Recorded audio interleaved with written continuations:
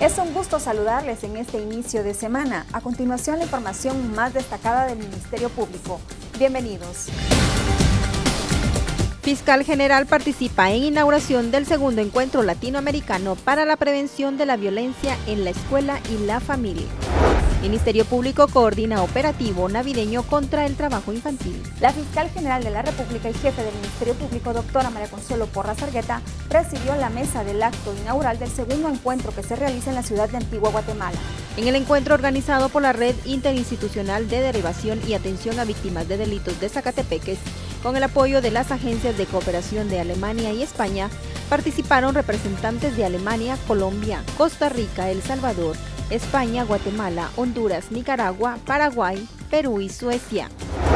Y como parte del Ministerio Público se están realizando diversas acciones en pro de los derechos de la niñez y adolescencia, proporcionando una atención integral, así como acceso a la justicia y a una respuesta efectiva.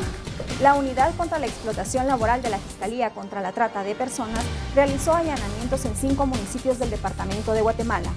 Con el objetivo de evitar el empleo de niñas, niños y adolescentes en actividades laborales que lesionan su integridad física, más de 70 fiscales y auxiliares fiscales con el apoyo de psicólogos y psicólogas de la institución, personal de la Procuraduría General de la Nación y de la Policía Nacional Civil, se ejecutaron 33 allanamientos los municipios de Santa Catarina Pinula, San José Pinula, Fray Janes y Villacanales. Esto con la finalidad primordial del rescate de niños, niñas, adolescentes que están siendo objetos de explotación laboral en tiendas y tortillerías.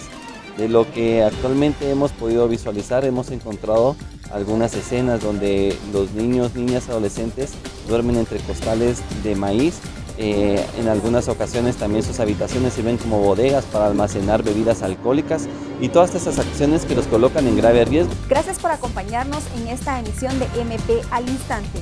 Los esperamos mañana.